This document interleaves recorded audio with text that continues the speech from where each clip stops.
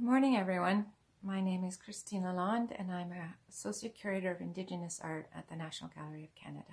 It's a picture of a freezer. Uh, what could be more everyday and familiar than that?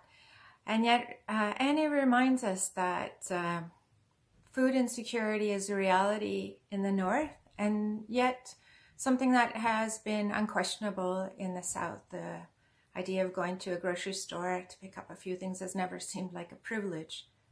And uh, now, after the experiences that we will have shared around the world, um, I hope that Annie Pootoogook's Cape Dorset Freezer will remind us not to take uh, these things for granted. What makes it so meaningful, I think, is that it shows us a view of the North that we haven't seen in the decades previous in Inuit uh, prints and drawings by elder artists and the established artists of the 70s and 80s.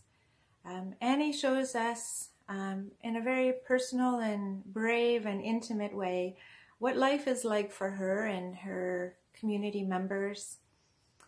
Um, and it's both um, familiar in that uh, in Cape Dorset Freezer we see foods we all recognize, Hungry Man meals, uh, pizzas, uh, and some things that we don't, pilot biscuits, which are a personal favorite and only available in the Arctic she does a lot to dispel this stereotypes of Inuit um, that are tied to more of a distant uh, lifestyle in the past.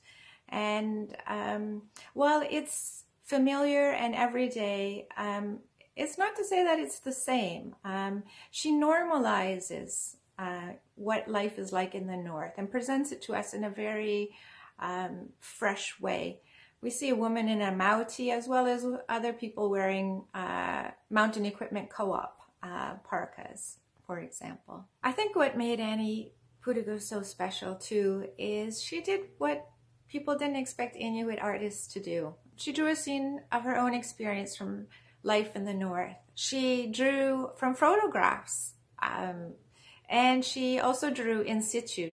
One of the things she told me she was really help, happy about and that she really challenged herself to do as an artist was to uh, include the reflections of people in the glass.